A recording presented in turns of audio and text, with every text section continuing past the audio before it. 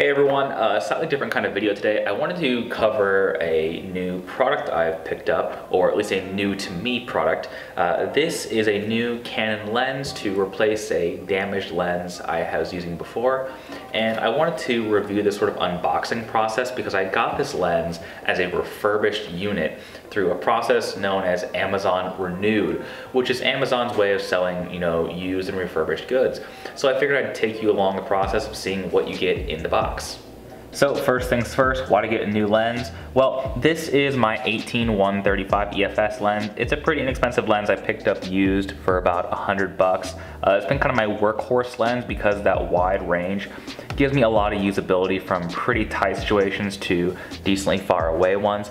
Unfortunately, at a recent drift event, I had the camera on a tripod and a strong breeze ended up picking up uh, the camera and basically fell lens first and the, you know, obviously the lens just took the brunt of the fall.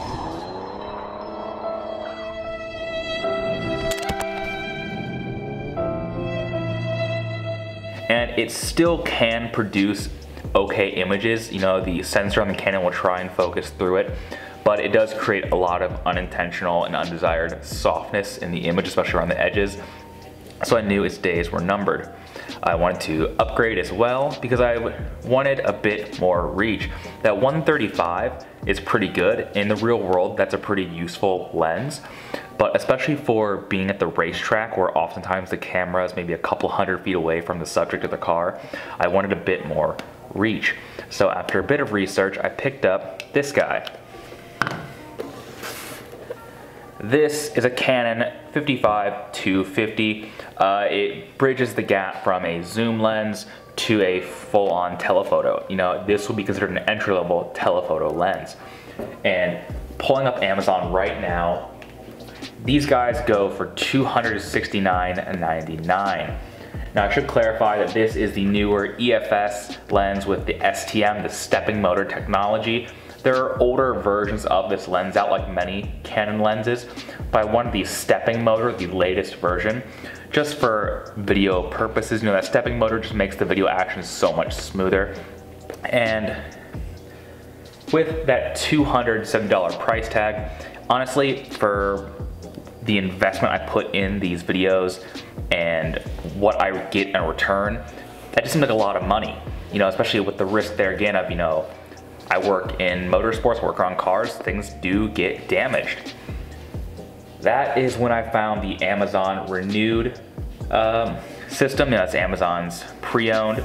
They have this lens available right now for $159 and the reviews overall are pretty positive, though there are a few negatives listed, which kind of goes with anything you're buying. So I figured I'd buy this lens, see how it goes, and show you guys. So this is the lens. It comes in an official Canon box because this is effectively a refurbished lens direct from Canon. This looks like exactly what you get. You went to Canon and bought a new lens. Uh, for clarification, it does come in a padded envelope like this. And like all Amazon things, it's packaged pretty well. So let's just, let's bust this guy open and see what we got.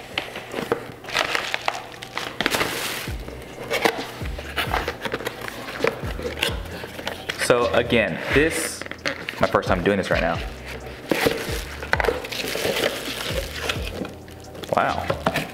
Yeah, uh, this is packaged just like a new lens would be. And here we go. Now first thing I'm gonna do is verify it's the correct lens, EFS. STM has the stepping motor technology, so I did in fact receive the correct lens. And since I'm really stupid and like big visual displays of what it is, this is at 55 millimeters and fully zoomed in, that's 250.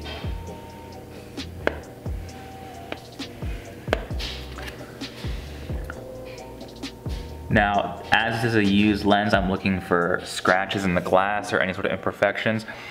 And I do see some very faint scratches on the glass. I mean, I'm looking really close. I don't think there's anything that'll affect the performance of the lens. We'll obviously test that in a second. But things looking good on the glass side. And on the sensor side of the camera, things again are looking good. Uh, looking deep in there, that looks at, it looks like new. Uh, all the contacts look perfect. This lens is extremely clean. Uh, I'm assuming Canon obviously does the refurbishment. It looks just like a brand new lens. Everything feels really good. All the buttons work appropriately. Um, really pleased with how this thing looks for, I mean, what is that, 60% of the cost of new? Though, let's see how it works in a practical application.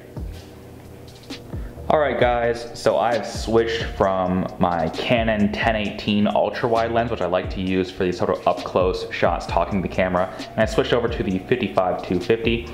I've not changed the settings on the camera at all since uh, I'm at, let's see, my room is quite dark here. My living room is quite dark here. So ISO 800, f-stop 4.5, and shutter speed is 30. And the lens seems to focus nice when I pull the trigger. And for perspective, my refrigerator that I'm looking at, I'm standing 10 feet away from it right now. And it's that close at 55. Now if I swing this boy all the way to 250,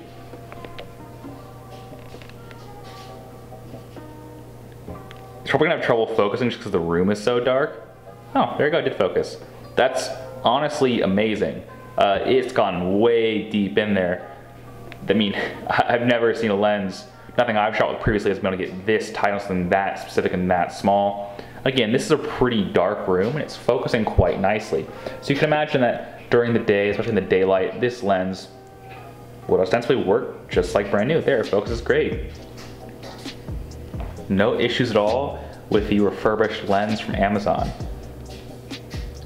Oh, hi there. So I have the 55-50 still on the camera, I have the autofocusing on, and just playing around, I'm watching the tracking, and that STM lens is definitely paying dividends. I mean, I'm actually watching the tracking, it's so smooth and so fast, and you, at least in that screen, you don't appear to be losing me at all, even though I'm way too close for this lens actually wants. Uh, look at that, that's actually great. That tracking looks really good. Hope it looks just good on the big screen. I'll confirm that in the edit. But um, for perspective, I am standing about four feet away from the actual face of the lens. It's all the way pulled back at 55 millimeters, uh, nice and tight, nice and clear. And again, this room is pretty dark, especially for this lens, uh, which is shooting at, what is that, 4.5 f-stop. And it's crystal clear, it looks really nice, and it performs ostensibly just like new. Man, it's so fun to play with the tracking. Look at that.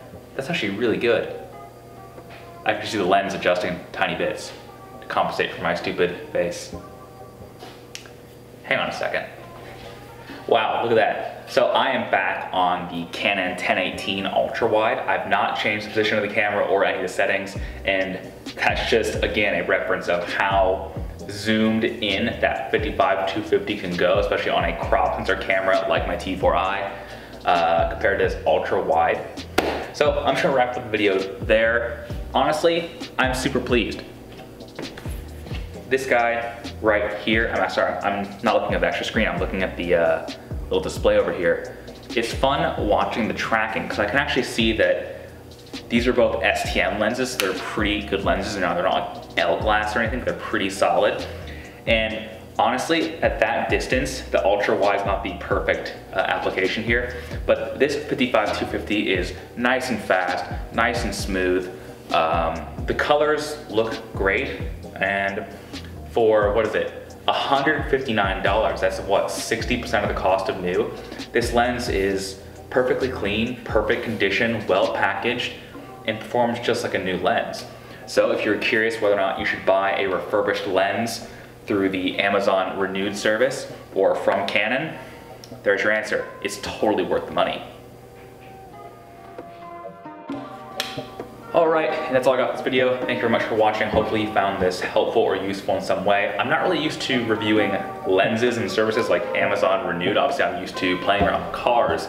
So if this video is missing things or there are elements you'd like to see me include in future product reviews, please let me know because I find this very interesting. It's fun to talk about things that aren't cars for once, though this latest greatest little toy will definitely be used in future car videos. So stay tuned for that. Thank you very much, and I'll see you guys on the next one. Bye.